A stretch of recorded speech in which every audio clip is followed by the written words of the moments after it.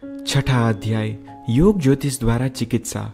संन्यास आश्रम की अवस्था पार कर चुकने पर परम आराध्य गुरुदेव के आदेश से भोलानाथ चिकित्सा व्यवसाय करने के लिए उद्दित हुए। वे अलौकिक प्रतिभा संपन्न नवयुवक थे। बंगला भाषा में प्रकाशित जितने भी चिकित्सा शास्त्र ग्रंथ थे, अल्प समय के भीतर ही उन्होंने अच्छी तरह से पढ़ डाले और चिकित्सा का उत्तम ज्ञान प्राप्त करा।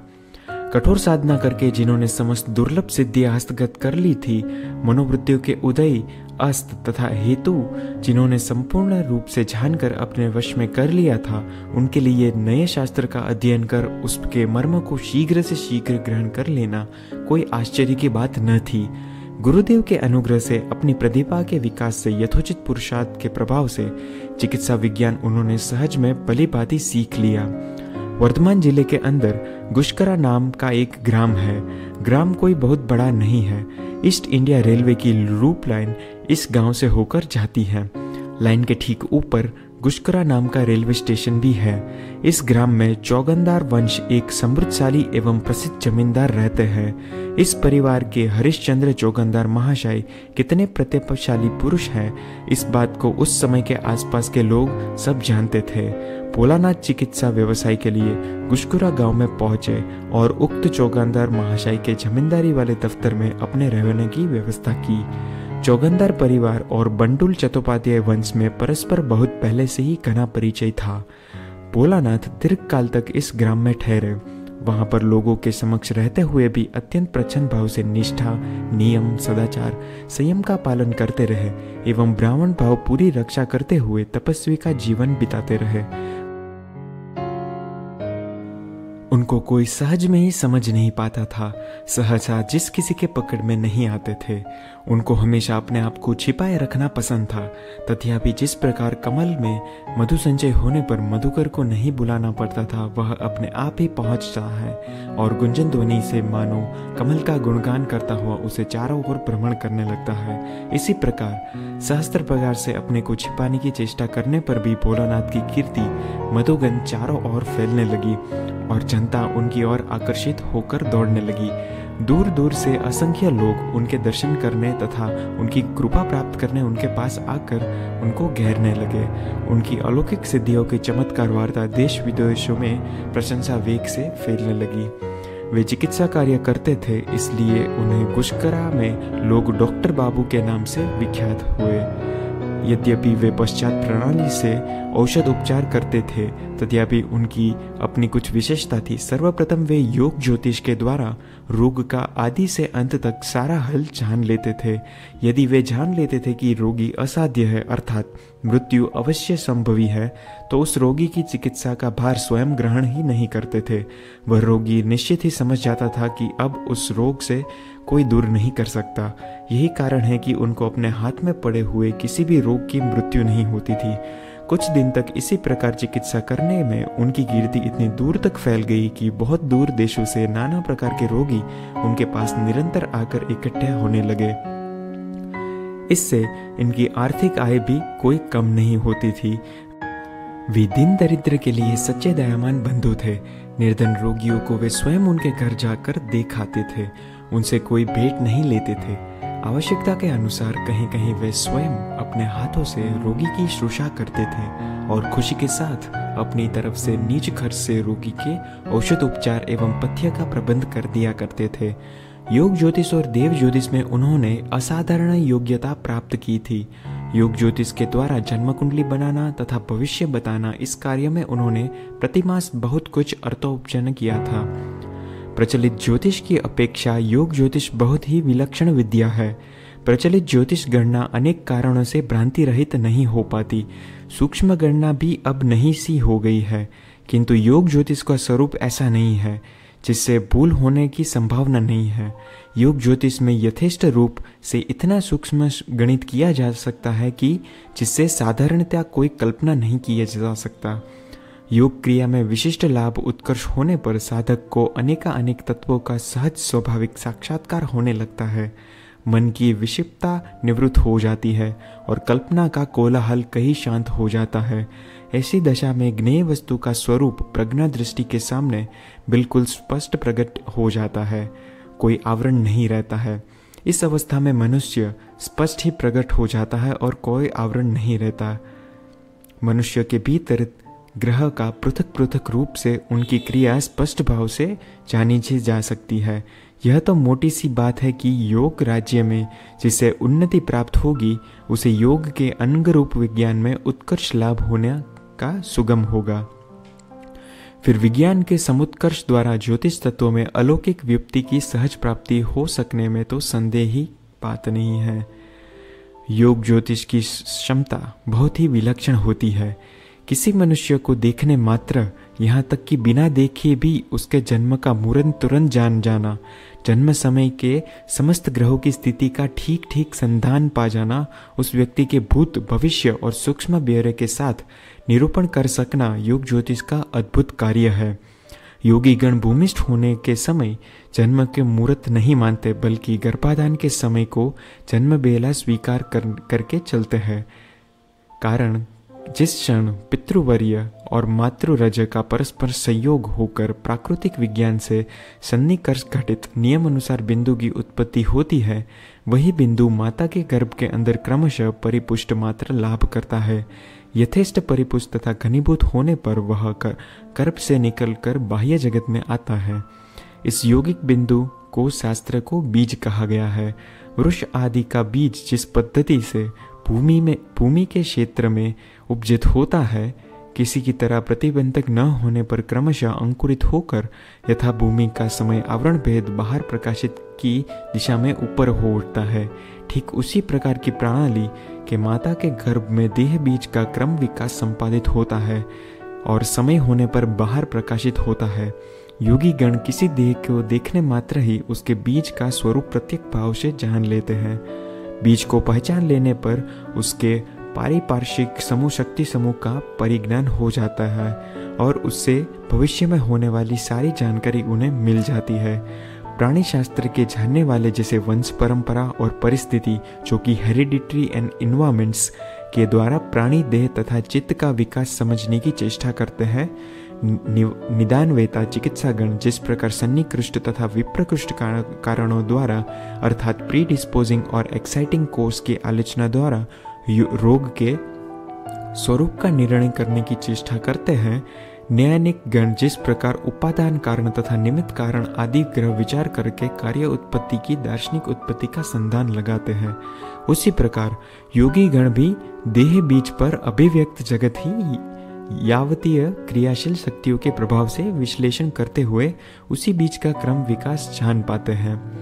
पूज्य श्री बाबा के साथ जिन लोगों का दीर्घकाल से परिचय है, उन सबका योग ज्योतिष के ननना अद्भुत व्यापार प्रत्यक्ष देखे हैं। उनके पुराने शिष्य श्रीयुत उपेंद्र नाथ चौधरी महाशय जब प्रथम बार पूज्य बाबा के दर्शन करने गए थे, उस समय की घटना का उल्लेख यहाँ पर करना अप्रासंगिक न होगा। उपेंद्र बाबू ने स्वयं वर्णन किया था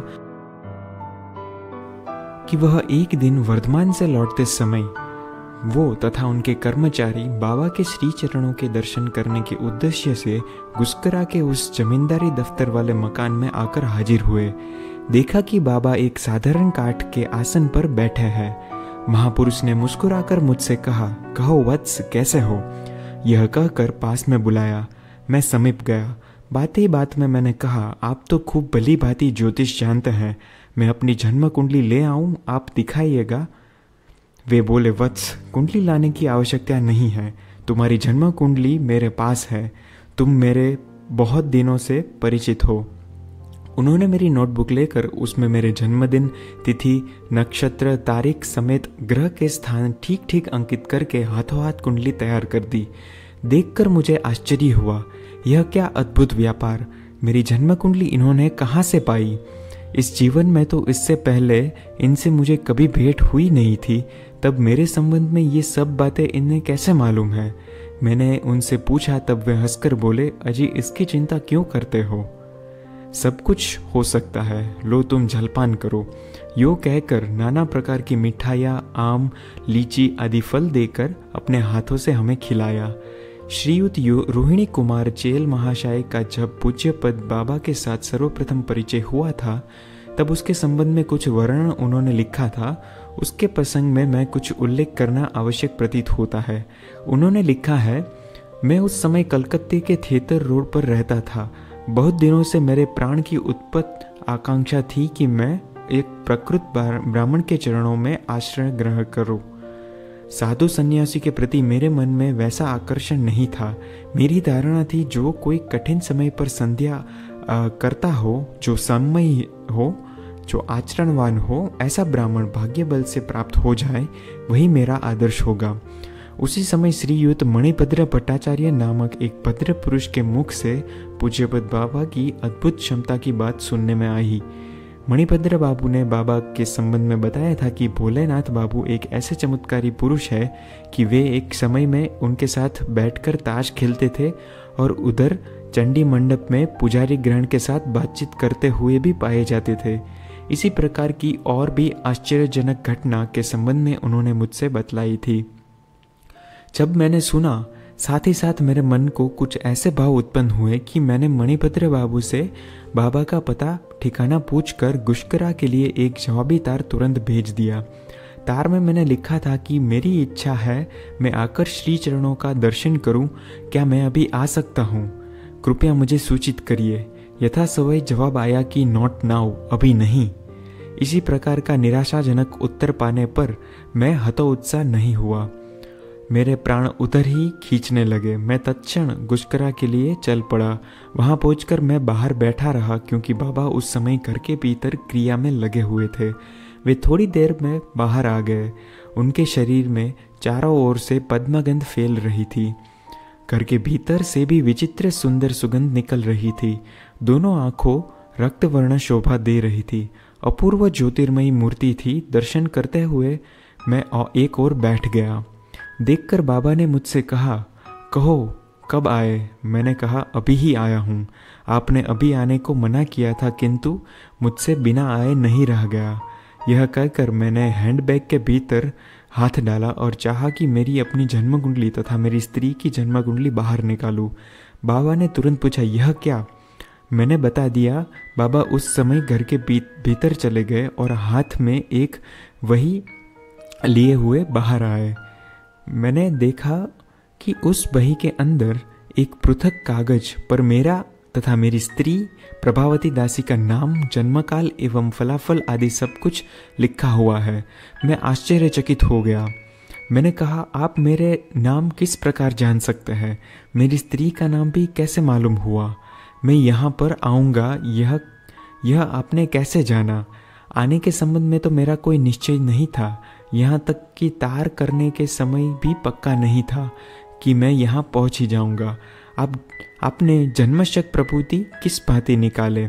तब बाबा बोले, तुम्हें इस समय पर आने को मन किया था, किंतु जब देखा कि मना करने पर भी तुम यहाँ चल पड़ोगे, तब मैंने बैठे बैठे तुम्हारी जन्म कुंडली निकाल डाली।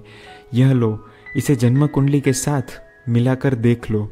मैंने दोनों को मिलाया, सब कुछ मिला केवल जन्म मुहूर्त में तनाव सा व्यतिक्रम देखा। जब वे बोले कि नूतन गणना ही ठीक है मेरी पुरानी कुंडली में, प्रादर्शिक लग्न तो ठीक ही है, मैं अवतार कल्प महापुरुष होता। बाबा बोले, देखो, यह तुम्हारी पूर्व लिखित कुंडली में प्रदर्शित समय तुम्हारा सचमुच जन्म हुआ होता तो तुम ही, मैं ही तुम्हारे पास आ गया होता। तुम इस प्रकार मेरे पास नहीं आए होते। इस प्रकार मनुष्य का जन्म संभव नहीं हुआ। करता, वह एक असाधारणीय क्षण है। ज्योतिष और चिकित्सा के अतिरिक्त स्वरोदय आदि अन्य विज्ञानों को भी उन्होंने अद्भुत जानकारी प्राप्त की थी। गुरुदेव के आदेश अनुसार समय समय पर उस विद्या का प्रयोग भी वे करके दिखाते थे। हम लोग साधारणतः स्वरोदय के जितना भी प्रचलित ग्रंथ जानते हैं, उससे विलक्षण, अचूक, अथाह की बाबा स्वरोदय विद्या है। स्वरोदय शास्त्र की जो अत्यंत सूक्ष्म और रहस्य तत्वों की चर्चा बीच बीच में उनके मुख से हमें हमने सुनी है। साथ ही साथ तत्व संबंधी बहुत कुछ प्रत्यक्ष अपनी आँखों से हमने उनके निकट जो जो समय पर देखा है, उसे भली भांति जाना जा सकता है कि प्रत्येक दर्शी गुरु की सहायता के बिना केवल ग्रंथ पढ़ लेने के मात्र से किसी भी शास्त्र का रहस्य अनुभव आना संभव नहीं है। इस प्रकार विविध उपायों से प्रतिमास नियमित रूप से वे विपुल धनोपचर करने लगे। किंतु वे आजन्म त्यागी, जो गृहस्थी में रहते हुए भी अतः सन्यासी दुर्लभ ब्रह्मपद जिनकी उज्जवल दृष्टि के समान तृण से भी अधिक तुच्छ प्रतीत होता था, उनके लिए जो धन संचय कर रखना कैसे संभव था? एक तरफ़ वे अर्थ जुड़ाते थे तो दूसरी तरफ़ यथेष्ट खर्च भी हो जाता था। अतिथि सत्कार, साधु सन्यासी को आमंत्रण, दिन और विपदग्रस्त परिवार को सहायता, दान इत्यादि नाना प्रकार से पानी के प्रवाह, निरंतर पैसा खर्च होता था। आय और व्यय दोनों को वे समान दृष्टि से देखते थे। इस प्रकार निस्पृह अकिंचन सन्यासी के सृदिष्ट वे हमेशा रहते हुए भी गृह त्यागी के समान वे कषाय वस्त्र परिधान न करते हुए स्थिर वीर्य सन्यासी की नए जीवन व्यापन करते थे। गुष्करा में निवास करते थे, तभी वे विवाह कर लेने को बाध्य हुए थे।